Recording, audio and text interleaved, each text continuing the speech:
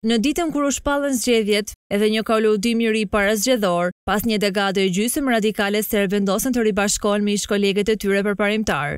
Nëse fitojnë, Vojislav Sheshel mund të kthehet në pushtet në Beograd, që nuk përjashtohet mundësia për të ndihmuar progresistët në formimin e qeverisë. Pra më shtatëmbëdhjetë dhjetor do të ketë një luftë të fortë, sepse ish-radikalëve po i bashkohen radikalët origjinalë në luftën për pushtimin e kryeqytetit serb. Kam pasur bisedime me Aleksandar Vuçiç, Ana Bërnabiçin dhe Darko Glishiçin dhe jemi marrë vesh se SRS-ja do të hyjë në koalicion me SNS-në në zgjedhjet e Beogradit dhe në zgjedhjet komunale dhe ato të qytetit në brendësi të Serbisë, tha Vojislav Sheshel. Pra, pas saktësisht pesëmbëdhjetë vitesh, Humbar e Grinders do të luftojnë sërish për pushtet, por këtë herë në të njëjtën anë. Meqenëse progresistët zbuluan dhe njëherë të harruarin Tomislav Nikoliçin, Duket se ka ardhur koha, të varrosë edhe kapitujt e tjerë të luftës. Disa do të thoshin se natyra po ripërtëritet, domethënë ndoshta do t'i kemi Vuçiç, Tomislav Nikoliçin dhe Vojislav Sheshel në skenë përsëri në një tubim në Beograd, për shembull, beson analisti politik Boban Stojanoviç. Të ruhen rreth tetëdhjetë e një mijë e katërqind vota, që kishin radikalët në zgjedhjet e fundit në Beograd. në mënyrë që mos i mungojnë regjistrimet dhe të ndihmën e listës SNS